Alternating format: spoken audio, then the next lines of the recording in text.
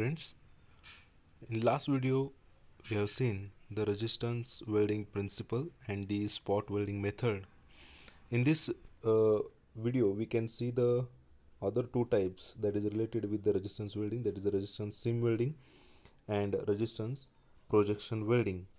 Myself mr sp Udgave, assistant professor site coe seam welding the seam welding having the principle that is uh, similar to the spot welding except that it is a disc shaped electrodes are used as shown in figure.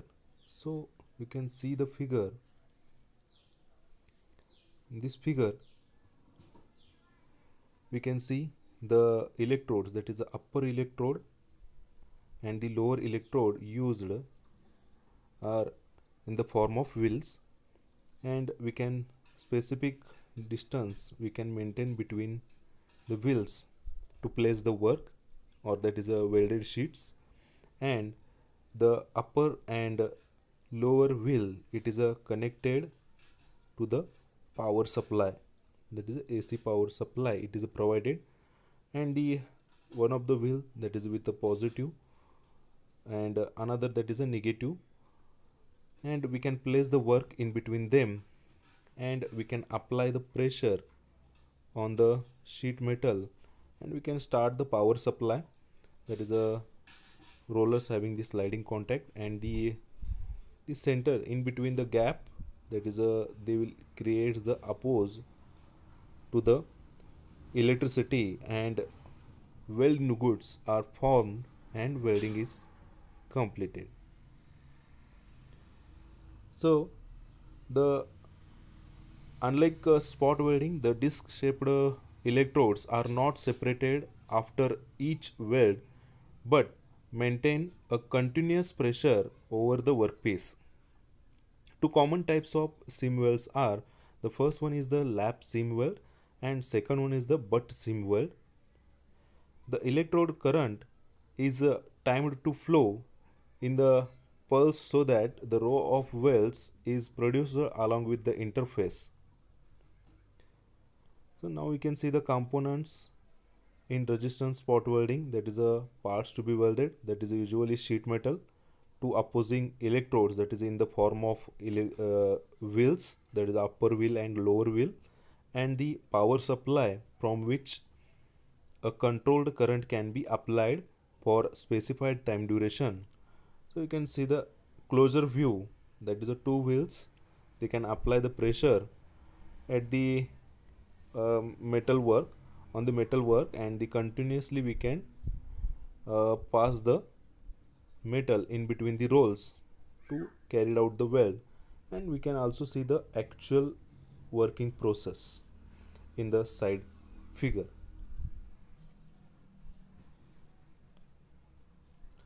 The resistance spot welding uh, that is a commonly it is a uh, classified into three types of weld that is a first one it is a conventional seam weld. Second one that is a roll spot weld. And last one it's a continuous resistance seam weld. So first type there is a conventional resistance seam weld. In that the you can see that is a overlapping weld nuggets so continuously we can get that is a overlapping nuggets means weld spots in a sheet metal part. But in roll spot welding, in second figure, we can see the individual individual weld nuggets are formed. They are separated by the some distance. And the last one, continuous resistance seam. So see the figure that is a continuously seam weld we can provide through the continuous con contact between the wheels.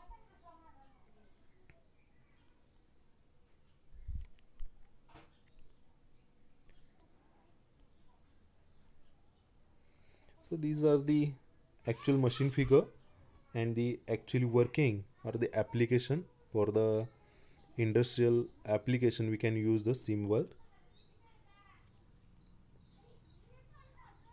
resistance seam weld is having advantages. That is a resistance seam welding has a unique set of advantages which makes it very favorable in many industries. Uses a rotating wheel electrodes to produce the series of overlapping spot welds along lap joint can provides or produce airtight joints the airtight welds one of the most important characteristics of a continuous weld is that it can create the airtight and watertight seals.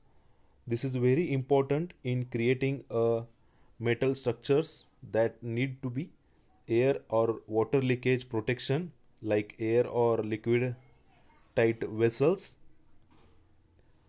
That is a fast welding process. Weld is the possible at high speeds and since the whole process is automatic and resistance seam welding is the faster than the other alternative like spot welding and uh, this process it is also not required the filler and flux or there is a no gas shielding it is required for the resistance seam welding the disadvantages of resistance seam welding the way resistance seam welding is set up, some disadvantages come with it. The following are the some uh, limitations or disadvantages of resistance seam welding. So first one that is a limited weld lines. So since seam welding it is a apparatus consist of rollers only straight line or uniformly curved line welds we can perform this method. And the second one there is a thickness limitation. There are limitations when it comes to the th thickness of the sheets because of seam welding can become a quite uh, that is a cumbersome when the thickness of the single sheet it is a more than 3 mm. And the applications that is a airtight or watertight that is a vessels it is a produce. So gasoline tanks automobile mufflers and various sheet metal containers we can manufacture with this method. The next part of the resistance welding that is a resistance projection welding. That is a resistance welding process is in which there is a joining occurs at one or small contact points on the parts. That is the contact points are determined in designed part to be joined. That may be consist the projections that is one sheet it is a consider the projections embossment or localized that is the intersection of parts. So now we can see the figures for the resistance projection welding. That is figure 1 shows that is a uh, particularly related with the one sheet metal that is the upper one that, that, is having the projections. This shows the projection and lower one that is a simple plain sheet. We can place it above the lower electrode and in between the upper electrode. So we can apply the force and we can pass the current that is a weld nugget will be uh, produced. That is shown in figure number 2 that is the first figure that is start operation contact between the parts is the projections. Small projections are provided.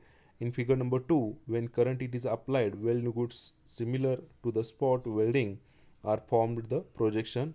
So first step it is to place the projected projected sheet metals and the plain sheet metal.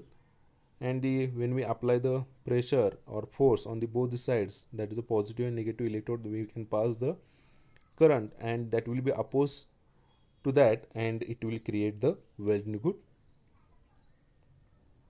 Thank you.